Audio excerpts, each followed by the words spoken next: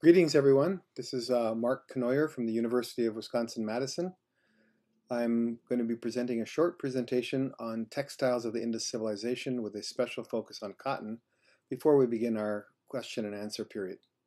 I want to especially thank the uh, Royal Ontario Museum and uh, curators uh, Sarah Fee and Deb Metzger for inviting me to present this talk. I also want to thank the Department of Archaeology and Museums, Government of Pakistan, and the Archaeological Survey of India for allowing me to work on the Indus sites in their countries. I also want to especially thank the Harappa Archaeological Research Project team for many years of hard work at the site and my numerous colleagues and students for sharing their data and knowledge.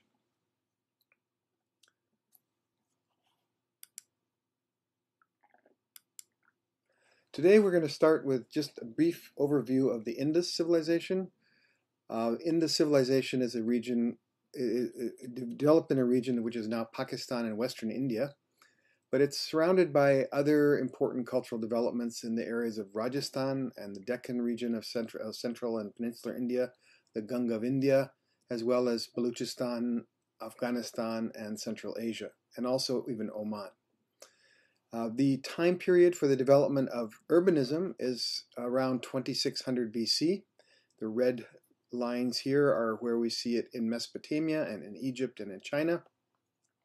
But as you can see, the early developments of food production, which is the domestication of plants and animals, goes quite early. In the Indus Valley, it's as early as 7,000. And by 5500, we begin to see pottery being made and eventually regional cultures developing. So I use a framework of early food producing era, meaning the earliest period of time when the Neolithic is usually called the Neolithic in other regions of the world. A regionalization era for a period when we have other cultural developments occurring and technologies, and integration as a period of urbanism. So these are the main three periods that I'll be talking about.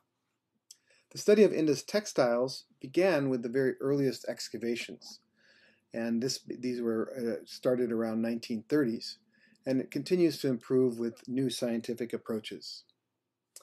This is an example of one of the earliest discoveries of textiles from the site of Mohenjo-Daro. So Mohenjo-Daro uh, urban phase dates from about 2600 to 1900 BC. This silver jar had traces of fiber on the lid, which allowed people to figure out the amount of uh, weave, the size of the weave, and then at that time they thought they were able to identify red matter as a possible dye for this textile. Other fabrics were uh, found as well, but they weren't identified in terms of whether they were cotton or not. But this textile was called was referred to as cotton, and this cotton would have been Gossypium arboreum, which is a variety that we think has been domesticated in South Asia. So back in the 1930s, they they found the first evidence of cotton, but it wasn't until the 70s when the French archaeological mission began excavating at the site of Mehrgarh which is in uh, the, the borders of Baluchistan and the Indus Valley, at the base of a pass, that they found other evidence of, of cotton and the earliest evidence of cotton in the subcontinent. So the excavations at Mehrgarh, run by Jean-François Jarrige from the Musée Guimet, um, they, and Catherine, his wife, and a really wonderful archaeological team, excavated the Neolithic burials, and in these burials they found evidence for basketry, as well as many bone tools associated with weaving, and ornaments which would have been threaded by fine fibers, which unfortunately were not preserved. But in one of the burials, they were able to find evidence of textiles, and this textile was colored. You can just barely see it here in this in the in the um, sediment. Uh, Catherine Jarrige and uh, Aurore Didier from the Musée Guimet just sent this to me last night, so I was able to provide it to you today. So I really want to thank them for sending me this image. But this is the earliest textile preserved in the Indus Valley. And it has a reddish color, you can see, and there are traces of black, which might have been an, an organic dye, either indigo or madder. This burial dates to in the it's in the upper layers, probably 1B, so around 6,000 to maybe 6,000 BC. But even earlier, and we don't know the fiber, what what fiber this was. It's just a very very faint uh, impression here in the in the clay. Um, but another discovery from a burial which dates to around 7000 BC um, are copper beads. that when they were examined more closely, they realized that there was a something in the middle of them. And by polishing this and looking at it in uh, under the microscope, they could identify fibers. And the fibers, when you cut a cross section of the fibers, they could identify these fibers as cotton. And it was probably wild cotton because some of the fibers appear to be um, not necessarily completely mature, so they may have been uh, partly uh, undeveloped. But this fiber would have been collected from wild cotton plants growing in the area and then twisted and made into a thread that was used to thread these copper beads. This is the oldest evidence of cotton in the subcontinent and in the world. Um, we have later developments in the region, so Mehrgarh and a, a nearby site called Nausharo has many figurines where we see people wearing what are clearly textiles and or um, fibers, turbans, uh, sashes, necklaces that would have been threaded, possible headdresses made of textiles. And we see turbans on figurines of men with patterns on them, which would have been woven different colors of, fibers. Today in Pakistan, the Afghan men wear silk turbans made in Multan with uh, silver wire in them or silver silver threads. And this is an example of silver and silk and cotton mixed from the from from uh, Sindh. Uh, we also have pottery from Mehrgarh and uh, associated sites that are highly decorated with geometric designs. And I argue that these designs were probably also been reflected in embroideries and patterns on textiles. We don't have any of those preserved, but it makes sense that they would have, if they can paint pottery this way, they could have decorated uh, fibers and ceramic uh, uh, textiles as well. We also have figurines from the site of Nausharo, which is slightly later, about 20, uh, 3800 to 2200 BC, where we have people wearing pantaloons, and which would have been sewn, so they would have been using needles and thread to uh, fashion these, and then elaborate headdresses as well, slightly different from the earlier period. Uh, similar types of pants or pantaloons would have been are worn today among the communities living in the same region, and we can see a very long continuity in some of the textile traditions of western of this part of Pakistan. Uh, other figurines show elaborate designs on the legs, and I like to think of these as, again, pattern textiles.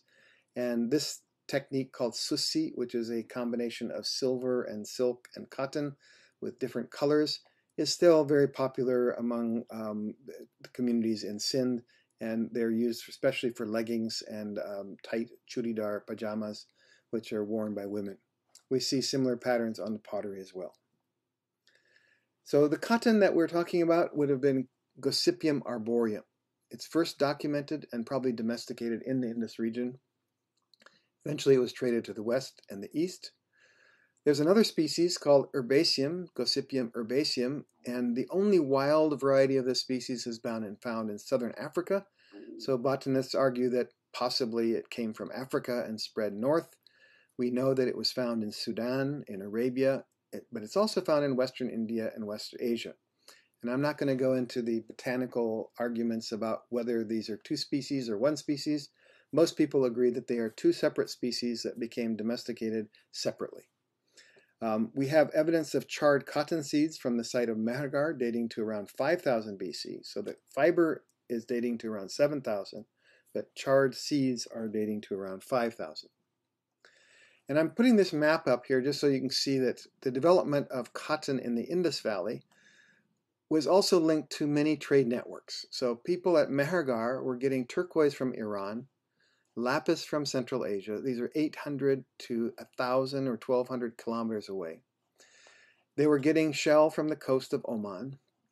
They were getting carnelian from the Gujarat region, and the, probably other things from the Indus Valley um, itself. So if we have Gossypium species at Mehrgarh at 7,000, we know that we have also Gossypium at Balakot, which is a Harappan site dating to around 2500, and there's evidence that it was probably cultivated in this region at that time. We have evidence of Gossypium at Harappa, both in seed forms and in woven fiber forms. We also have possible indigofera, which is a dye uh, for, for indigo, at the site of Harappa, and we definitely have it at the site of Rojdi, which is a site in central Gujarat. So this Indus region has clear evidence for the earliest development of gossypium and its use in textiles and in fibers, and probably also dyeing. I don't know where exactly madder comes from, but it would have been found in peninsular India as well as in the northern regions. So that would have also been present at many sites. The trade was going across the sea to Oman, and we have, I'll be showing you evidence for cotton in the site of Ras Al Had in Oman.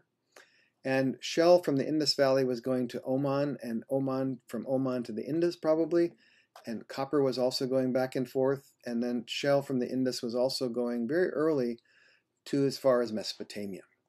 So if shell was going to Mesopotamia, then it's possible that cotton was also going. We also have movement the other direction. We know that African millets and sorghum were coming from Africa and eventually spread into Gujarat by around 2500 BC. Now, African herbaceum may have also come at the same time, and that's maybe why we find it around the coast of Baluchistan, where it grows very well.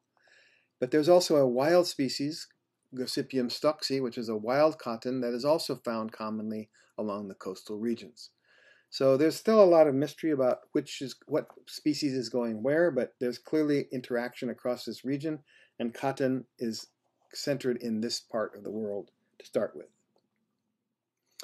Um, the Indus Valley traded with Mesopotamia, and we know that Mesopotamian cities were getting beads and um, other commodities, wood and animals and exotic species from, from the Indus Valley. Indus people were also trading with Central Asia, possibly and definitely Oman, and possibly even into western, what is now Western China, Xinjiang, and the uh, northern regions of Central Asia. So when we look at the major types of textiles, the Indus has cotton. We also have wool. We have jute and hemp. We have palm and linen and silk.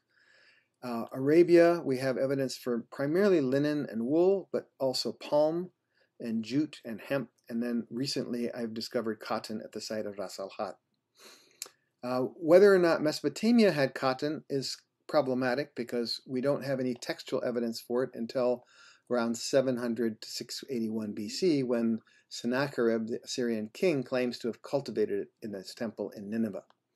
Um, the Akkadian word that develops for cotton is kidinu, um, though later on they use karpasa, which is a, a Sanskrit word for, for, for um, cotton. Uh, herbaceum, which requires a drier habitat, is thought to have spread from Arabia or North Africa into India and then up through Central Asia and across the north into northern China. Arboreum requires a lot uh, moisture climate. It would have spread throughout South Asia to south, south, southern India and then to eastern India and what is now Bangladesh and um, uh, Assam and then into Southeast Asia and then southern China from, from that region.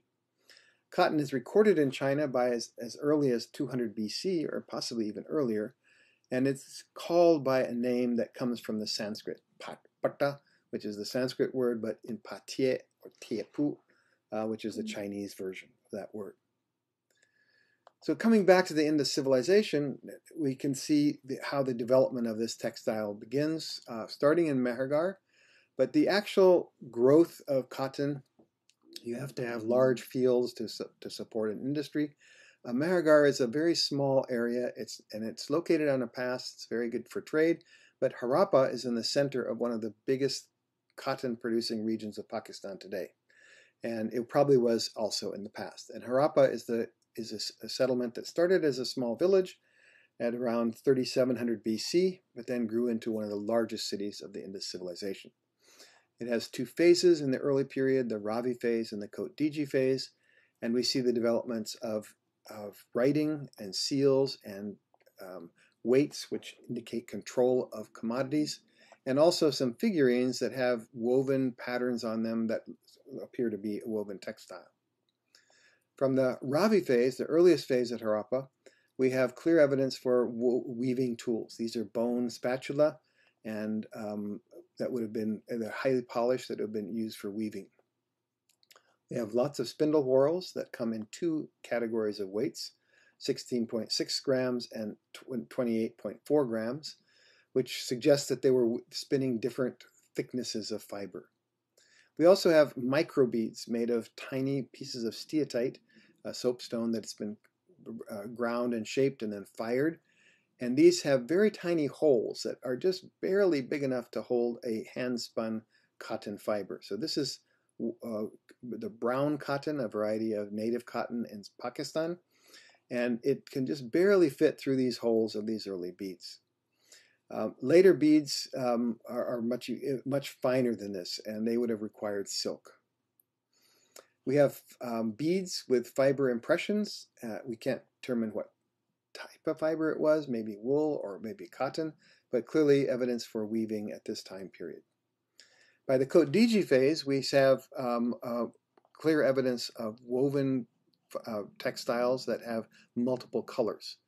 And this skirt that the woman is wearing reminds me of the traditional checked or plaid skirts that are being made in Pakistan today called khes. And khes is woven with hand-spun cotton and indigo dyed eh, or madder or catechu, uh, which is from the acacia tree which is a brown color. During the Kot Diji phase, we see more, about four different varieties of spindle whorls, which indicate that they're spinning a larger array of, of, of th fiber thicknesses. Uh, and it's also suggests that a more complex textile industry is developing.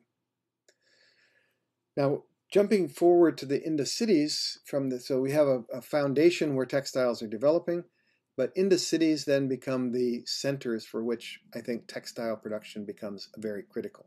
And textile production is one way of increasing economic wealth and power.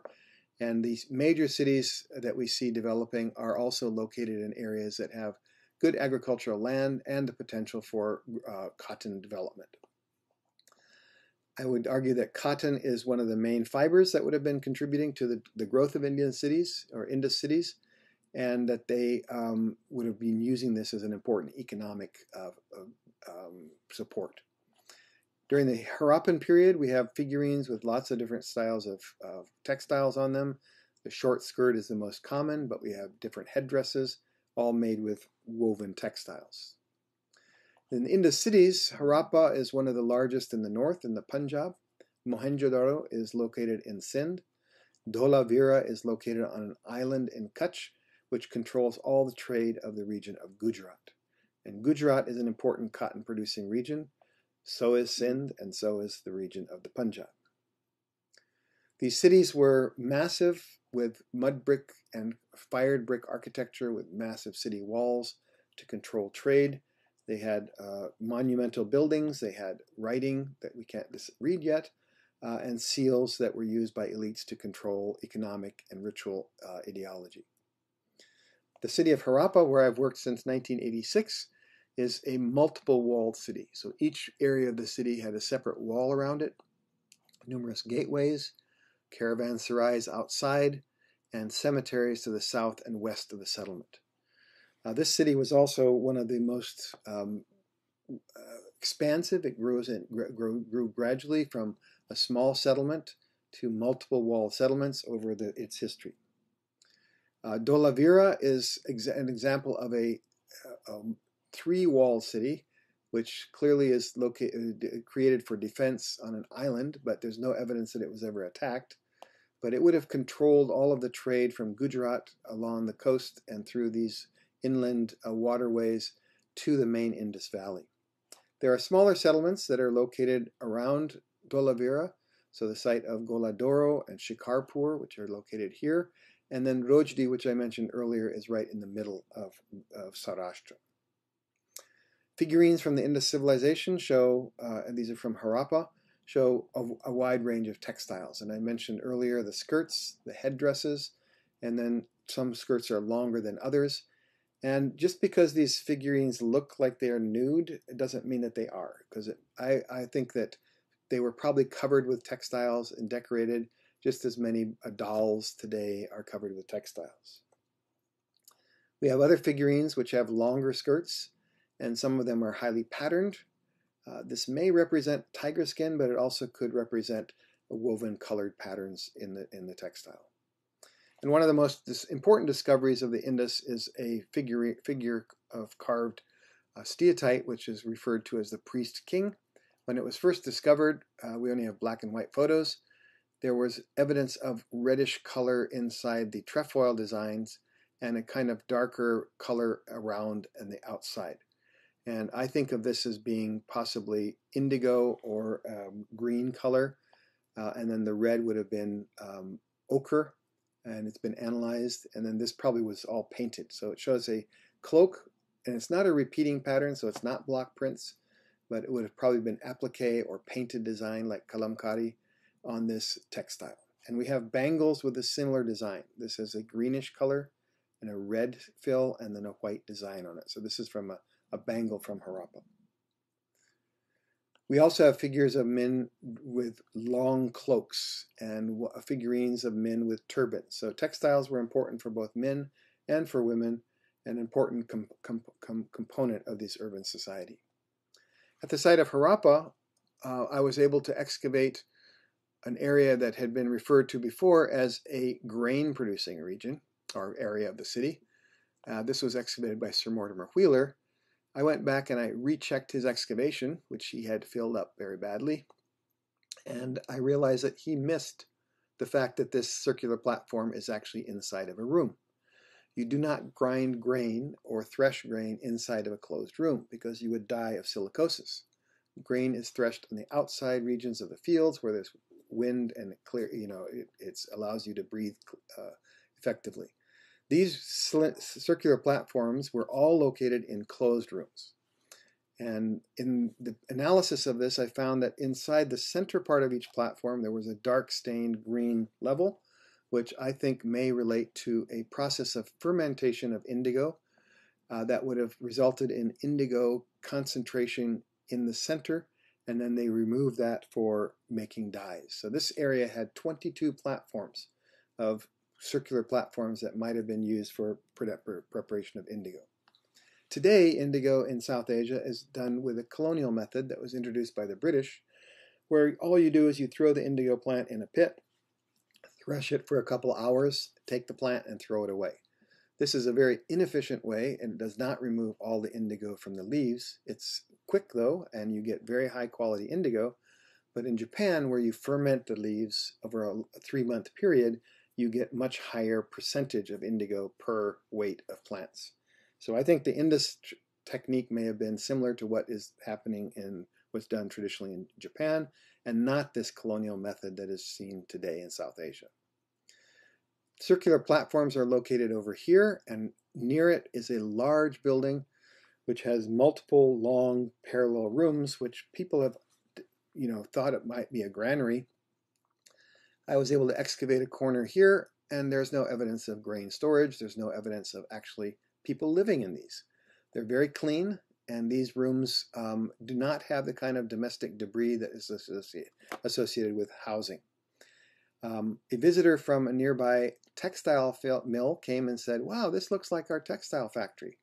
And that brought to my mind the possibility that this may be a textile um, warehouse uh, place to keep textiles clean, uh, no food items around, nothing for the rats to come and chew on, and that these buildings may have been long rooms for uh, patterning, uh, um, making designs on the textiles or drying them, and that this may have in fact been an important textile structure. There are three phases of this building. So this is the middle phase, this is the last phase, and underneath it is the first phase. So it was rebuilt three times. During the Harappa period, we also see a disappearance of spindle whorls. There are a few, but not very many. But, but we do see lots of copper rods, and a copper rod is the only thing that would remain from a spinning wheel. So I think that during the Harappan period, they changed the technology of preparation of fibers, and we have rods that were used on spinning wheels. Some of these rods actually have fibers attached to them still. And in the past, people have thought of these as being, you know, applicators for surma or kohl on the eyes, but actually I think they probably are with, associated with spinning wheels. And when you have a spinning wheel, you can make much more uniform and regular thickness of fiber. And this is an impression of a textile on a toy bed, which shows really uniform textile fibers on the surface, which have no knots in it like you will see from hand spinning. So this to me is, a, a, again, evidence for the use of spinning wheel. Um, I've been examining the textiles from uh, uh, under the SEM, and we can see uh, the differences in cotton versus silk versus jute versus wool, and uh, the types of fibers that we see preserved on copper. This is examples of cotton fiber woven at, from Harappa. We have the uh, SEM images of cotton fibers. We have impressions of cotton fibers on clay, so then I take an impression of the uh, impression and then look at it under the SEM. And then I've done experimental work taking different types of cotton, hand spun cotton, and showing the different patterns that you would get on clay. Uh, and most recently, from the coastal site of Oman, we have examples of cotton um, on fish hooks and inside of a bead. This is a cotton fiber on the inside of a steatite bead, and you can clearly see the shape of the cotton uh, uh, fiber itself. And then this is probably mercerized cotton because it's very um, kind of smushed out. And this is on a uh, fish hook. And I've measured them, and they and they have the structure and the shape and the size that is com comparable to cotton itself. So I want to conclude that South Asia has been an important region for the development of cotton and has continued to be an important emporium for the production of trade commodities and a crossroads between East Asia, West Asia, and Africa. And this exhibition that you've seen or have a chance to look at uh, in the catalog um, follows with the later history, and I hope that this period of the earlier history helps to fill in some of the gaps in our knowledge. Thank you very much.